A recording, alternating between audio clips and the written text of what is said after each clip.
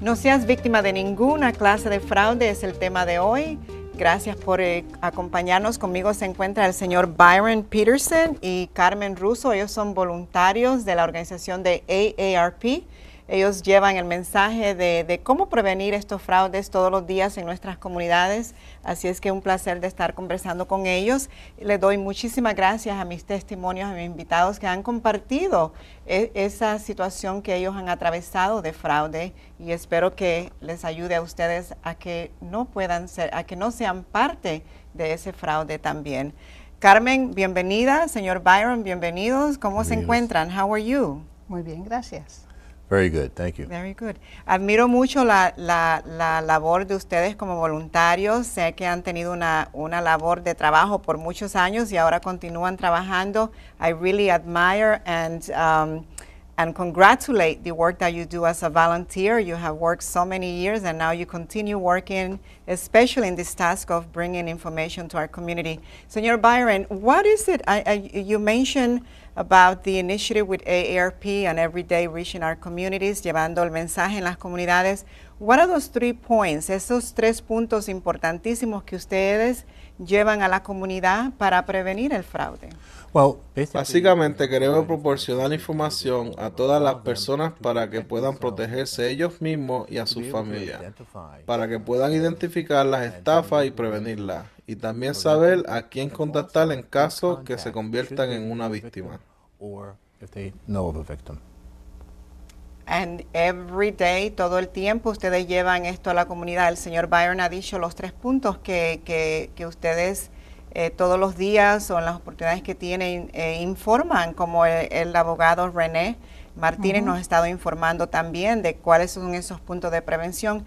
Eh, Carmen, cuando ustedes llevan estos, estos puntos informativos, ¿cómo tú ves al público, a las personas reaccionar? ¿Saben mucho de, esto o la mayoría no? No, la mayoría no. es, ellos se asombran porque no sabe lo que está pasando allá afuera.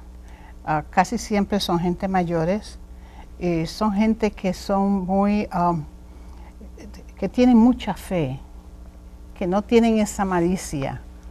Y cuando nosotros le hablamos de estos problemas, ellos no pueden creer lo que están pasando. Um, ¿Encuentran alguno de ellos han pasado también por, por, por estos casos de fraude?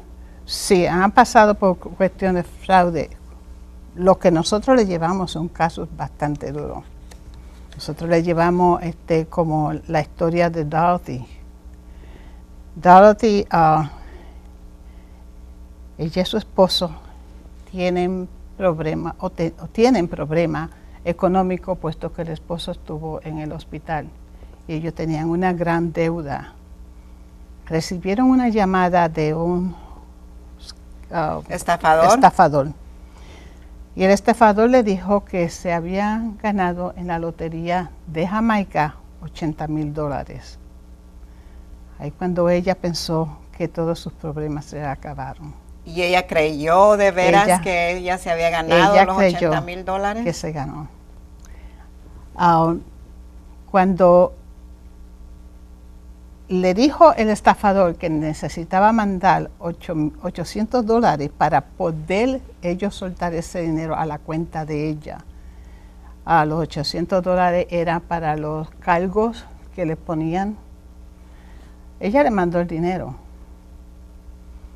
No recibió nada. Siguió recibiendo llamadas del estafador hasta el punto que la estaban um, Acosando. estaban acosando, que tenía que mandar más. Si no mandaba más, ellos sabían dónde ella vivía. La pobre señora ah, se puso de, una manera que ya no podía más. Ah, le quitaron todo, le quitaron su, su alegría, le quitaron su confianza.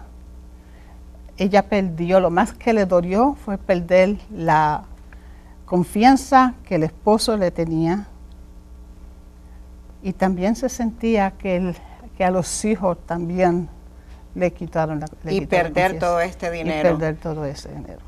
Esa es la historia de Dorothy y esa es la historia que llevan ustedes todos los días a la comunidad. Eh, eh, eh, Byron, what other experiences do you see or do you hear from people that, like the Dorothy story? ¿Qué otras historias como la de Dorothy que Carmen nos acaba de compartir escucha en la comunidad?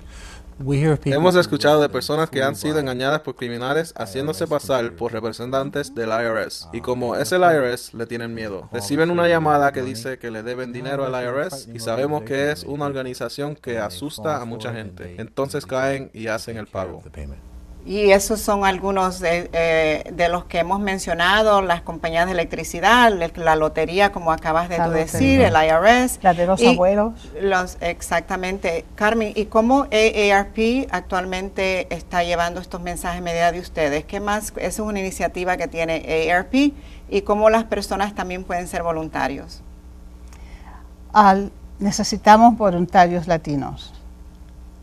Um, hay mucha necesidad para eso, porque mucha de nuestra gente que ah, son víctimas son latinos. Por eso que cuando yo voy y les llevo estas historias, no me, no me las creen. Si no fueran porque yo estoy respaldada por AARP, no me las creían. Muchísimas gracias y les felicito por su labor de voluntarismo a los dos, eh, eh, Byron y Carmen. No seas víctima de ninguna clase de fraude. Eh, como la de pagar las cuentas de electricidad, como el señor Byron ha dicho, el IRS, identidad personal, las licencias, ahora mismo con lo de inmigración, muchos papeles envueltos, mucho cuidado. Estos consejos son importantísimos. Siempre pregunta, eh, ¿quién te habla? ¿Quién no confiesa en nadie? Como dice Carmen, no tengas la confianza que uno tiene normalmente, ¿verdad? Si alguien no conoces, no no des la información. Así es que mil gracias a AARP, a mis invitados, equipo de producción de aquí de Capital Community College. Puedes ver los clips de este programa en el canal de Annalise Show en YouTube. Puedes visitarme en mm. Facebook, el correo electrónico ana.anali. Y nos vemos el próximo sábado aquí en tu programa Annalise, siempre brillando contigo, en especial en la casita de Carmen Morales y su familia. Chao.